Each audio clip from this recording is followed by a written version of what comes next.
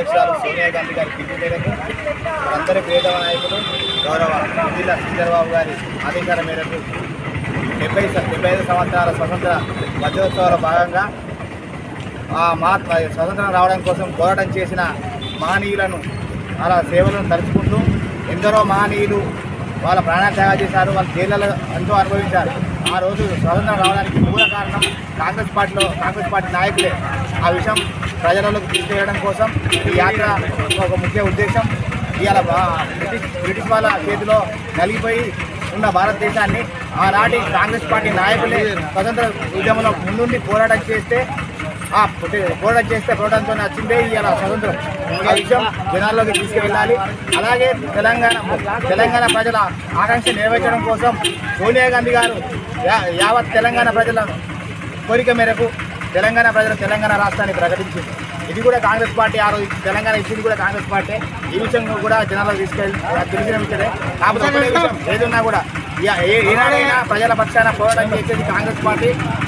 ఇవాళ ప్రతి విషయంలో కూడా ఆ రోజు ఆ రోజు ఉన్న ఇందిరాగాంధీ ఆ రోజు ఉన్న రా- మన గాంధీ గారు కానీ నెహ్రూ గారు కానీ వీళ్ళంతా సర్దార్ వల్లభాయ్ పటేల్ కానీ తిలక్ గారు ప్రతి ఒక్కరు ఆ రోజు పోరాటం చేసిన వాళ్ళంతా కాంగ్రెస్ పార్టీ సంబంధించిన వాళ్ళే. ఆ రోజు భారతదేశం రావడంలో వీళ్ళు కీలక పాత్ర పోషించారు. ఆ ఆ నాయకుల స్ఫూర్తితోనే భారత రాజ్యాంగాన్ని నిర్మించిన అంబేద్కర్ గారి కూడా కాంగ్రెస్ పార్టీ నిర్మాతగా పెట్టింది కూడా కాంగ్రెస్ పార్టీ. ఇవాళ ప్రతిదీ కూడా కాంగ్రెస్ పార్టీతోటే ఆ రోజు నన్ను వాళ్ళు ప్రతి పథకాలు సంక్షేమ పథకాలు ప్రజలలోకి తీసుకెళ్ళింది కాంగ్రెస్ పార్టీ.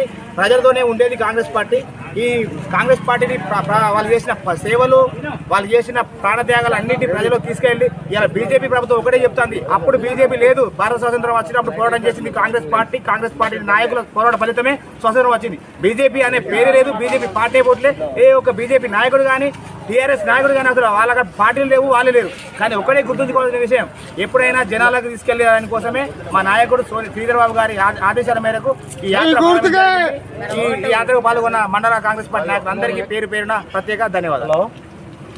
కార్యక్రమం నేటికి మూడవ రోజు.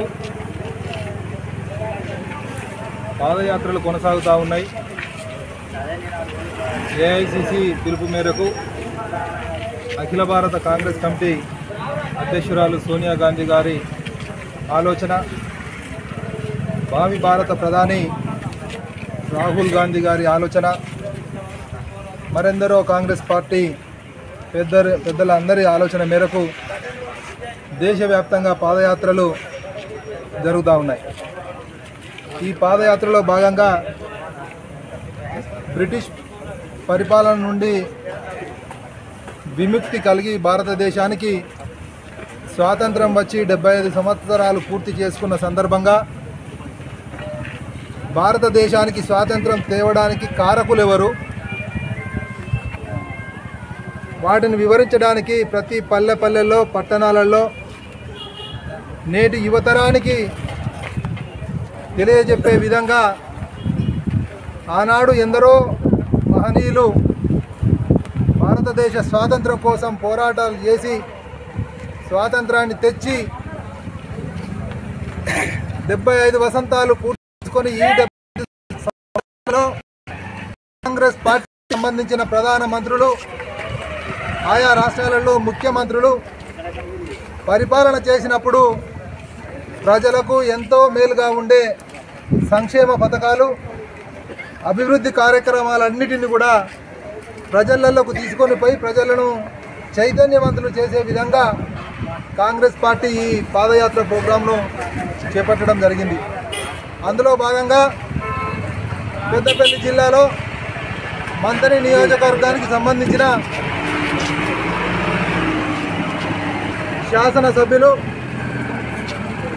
రుద్దిల్ల శ్రీధర్ బాబు గారి ఆదేశానుసారం రామగిరి మండల పార్టీ అధ్యక్షులు మిత్రులు చంద్రన్న గారి ఆధ్వర్యంలో రామగిరి మండలానికి సంబంధించిన వివిధ గ్రామాల గ్రామ శాఖ అధ్యక్షులతో నేటి ఈ బేగంపేట గ్రామ అధ్యక్షులు సోదరుడు కల్వల శంకర్ గారి నేతృత్వంలో బేగంపేటకు సంబంధించిన చాలామంది నాయకులు పేరు పేరున అందరికీ కూడా సమయం చాలా అయింది కాబట్టి అందరికీ కూడా పేరు పేరున ఈ కార్యక్రమంలో పాలుపంచుకుంటున్న ఎంపీటీసీ సభ్యులు వివిధ గ్రామాల గ్రామ శాఖ అధ్యక్షులు మాజీ సర్పంచులు మహిళా నాయకురాలు యూత్ కాంగ్రెస్ నాయకులు అందరికీ కూడా పేరు పేరున ధన్యవాదాలు తెలియజేస్తూ ఈరోజు ఈ బేగంపేట గ్రామంలో పాదయాత్రతో ఈ రోజుతో ముగించి రేపు రాఖీ పౌర్ణమి కనుక మళ్ళీ ఎల్లుండి నుండి మళ్ళీ పాదయాత్ర కొనసాగుతుంది.